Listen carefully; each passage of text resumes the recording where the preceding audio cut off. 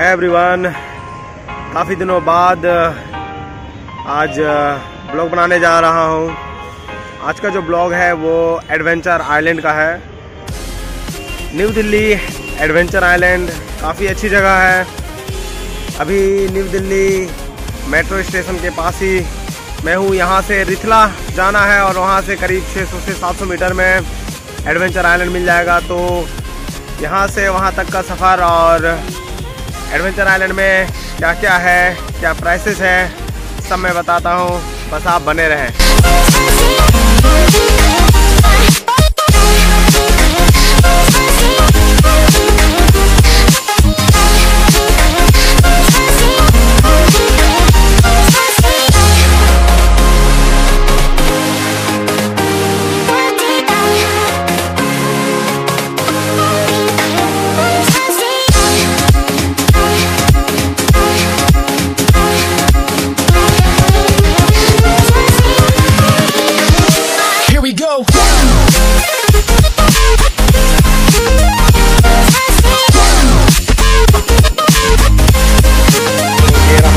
का पानी।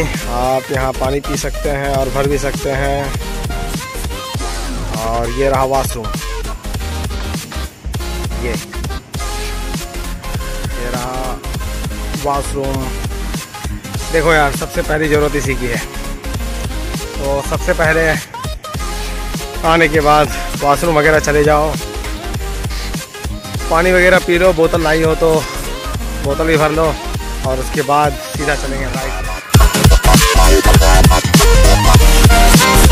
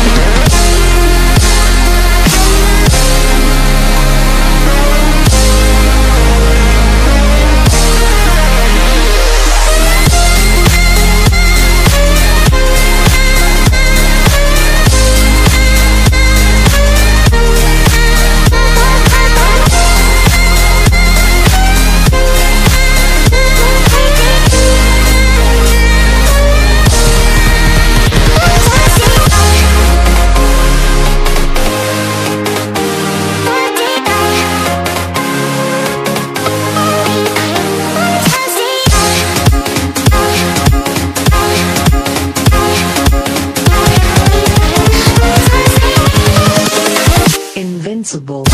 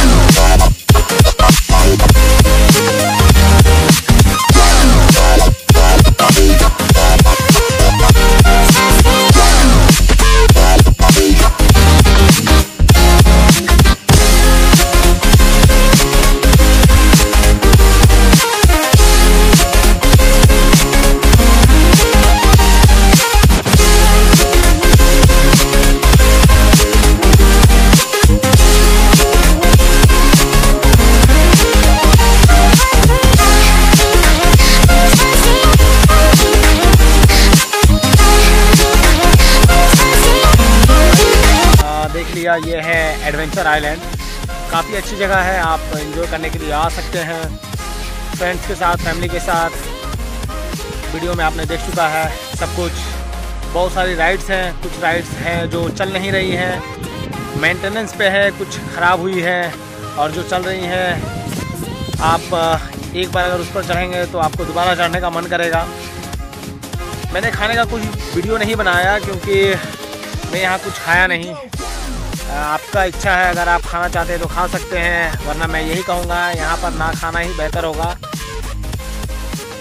अब, कुछ ऐसी बातें जो आपके लिए जानना बहुत ज़्यादा ज़रूरी है।